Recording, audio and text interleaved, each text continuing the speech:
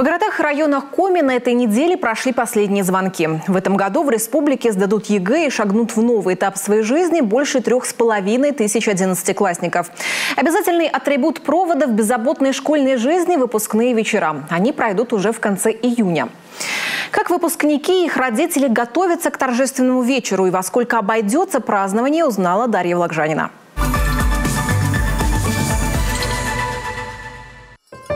Коми отгремели последние звонки. За спинами ребят тысячи выученных уроков, пятерки за контрольные по математике, победы в конкурсах и теплые булочки в школьной столовой. В этом году в Коми со школы прощаются больше трех с половиной тысяч одиннадцатиклассников. Прекрасное настроение. Вот в последний учебный день все выплакали. Сегодня, надеемся, плакать не будем, но это маловероятно. Но впереди очень много планов, э, многообещающее будущее, поэтому я думаю, все только в наших руках. Да, все у нас впереди. Последний звонок прозвенел и для выпускников девятых классов. В 2023 году аттестат об основном общем образовании получит 9,5 тысяч девятиклассников. Доля волнения была, но в целом радостно, что этот период закончился. Как говорится, не нужно плакать, что это закончилось, нужно радоваться, что это произошло. И хоть день прощания со школой наступил, расслабляться еще рано. Впереди ребят ждут серьезные испытания – госэкзамены. Некоторые предметы по выбору ребята уже написали. Параллельно со сдачей ОГЭ и ЕГЭ подготовка к выпускным вечерам. На это уходит немало времени и денежных средств родителей. В семье Понарядовых сразу две выпускницы. Варвара заканчивает 11 класс, а Маша – 9. К своему выпускному старшая сестра начала готовиться еще в начале учебного года. Купила платье, туфли и записалась к визажисту. В жизни Маши будет еще один школьный выпускной, поэтому готовится она чуть менее серьезно. Наряд начала выбирать недавно вместе с мамой.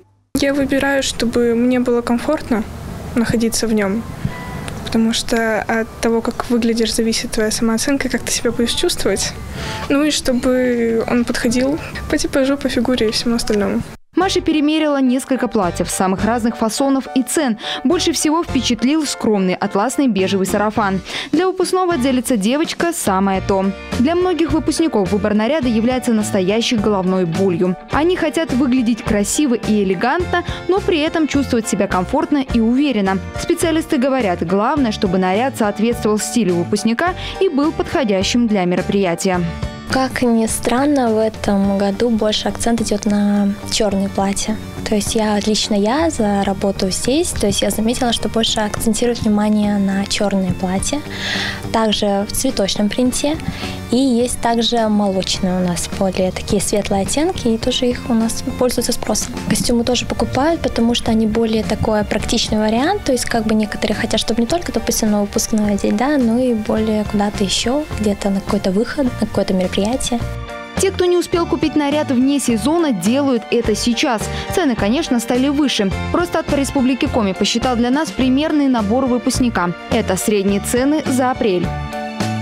Чтобы одеть парня, нужно 21 961 рубль. В эту стоимость входит мужской костюм «двойка», рубашка, мужские туфли из натуральной кожи, ремень и модельная стрижка. Собрать девочку, что странно, выходит дешевле – 15 936 рублей. В расчет вошло платье, пиджак, туфли из натуральной кожи, стрижка и маникюр. Если включить в этот список услуги парикмахера и визажиста, то стоимость сборов и девушки, и парня будет примерно одинаковой.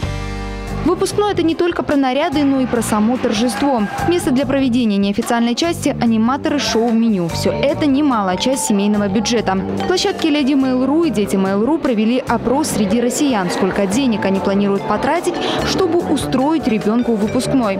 Большая часть родителей, 24%, заявили, что празднование выпускного обойдется более чем в 20 тысяч рублей. 13% планируют потратить свыше 15 тысяч рублей, 15% от 10 до 15 15 тысяч. Еще 14% надеются уложиться в сумму от 7 до 10 тысяч рублей. Почти 80% случаев выпускные проводятся вне школы, в ресторанах, на природе и на теплоходе. В городе выбор на самом деле есть. Вопрос только в том, на какой бюджет да, мы рассчитываем а, это раз. Во-вторых, э, опять же, количество людей, если мы говорим про рестораны, про кафе, где можно отметить тоже выпускной вечер, мы смотрим на то, искали по количеству людей. То есть мы насчитали, сколько у нас должно быть, и в первую очередь, когда обзваниваешь, спрашиваешь, а вот столько-то людей ваш зал примет или не примет. То есть э, и уже на этом этапе отсеивались Ну, наверное, ряд ресторанов точно отсеялось кафе, потому что залы либо маленькие, либо очень большие, которые нам, ну, нет смысла нанимать, закрывать огромный зал. А в плане ведущих тоже выбор большой, но опять же все упирается в вопрос финансов.